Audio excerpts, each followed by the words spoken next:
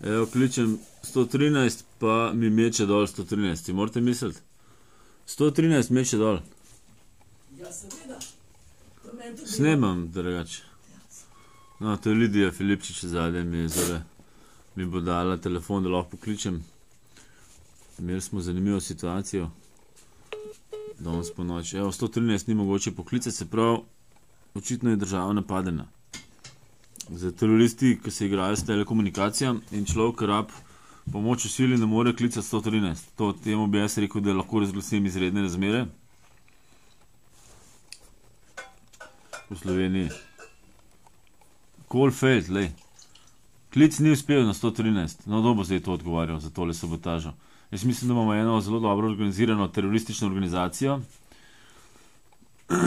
na telekomunikacijah. Ja, že tretjič je dol vrgel. To je eh, mednarodno priznan terorizem. 113 ti lahko pokličeš tudi, če nimaš niti enega centa na telefonu. Očitno smo v vojni. Ja, mečejo dol.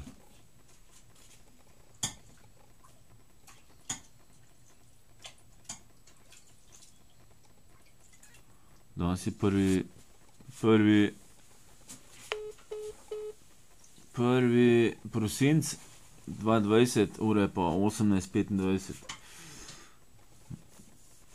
Zakaj gre? Pač rad bi policiji najavil grožnjo z, z ubojem, umorom pravzaprav. Ne?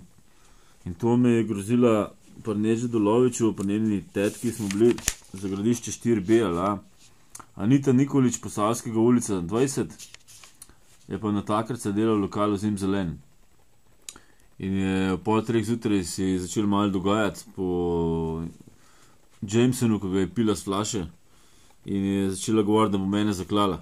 In da sem klošar in da sem pedofil in da jebela mi mater vse po spisku in da jo boli kurac in njen tipček je pa Admir Muratovič.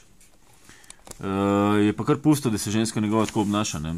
In pol je začela jebati mater še neč doloviču in uh, jih je vrgel ven in zunaj sta pol še zbijala pri sosedu od spodaj na vratih in še in še steklenico sta razbila James, Jamesona tam od zunaj, še ni pospravljen. In še bomba, bomba, bomba je govoril tipček, ne? da bo bombo fuknil. Pa in pa še grozenje po telefonskih klicih. In pa še sta šla klicarcu so nič, da bo žlahto in fotra in mat in tetko in vem, kjer ga še vse prijatelje in da mora reket plačati Jurija in un 500, glavno čista bila otrgana. Jaz imam prič dosti nežet, pa tudi tole je bilo, smrdele po Manjurian Candidate.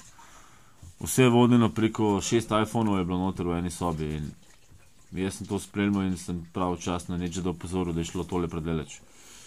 Tako da bi jih malo tekla kriz noži, no. Te dva, uh, Anita in uh, Admir, sta igrala neko čudno sceno, kreganja skozi, da se bosta poklala en drugega, a v bistvu bila scena, da v tem njunem prepiru zakoleta mene. Ne. So že leteli noži v vrata noter, jaz sem pa za vrati ležal, v nečedovi posli. V kuhinji sta zbirala noži, ko se to ona dva igrala. Evo, to je to.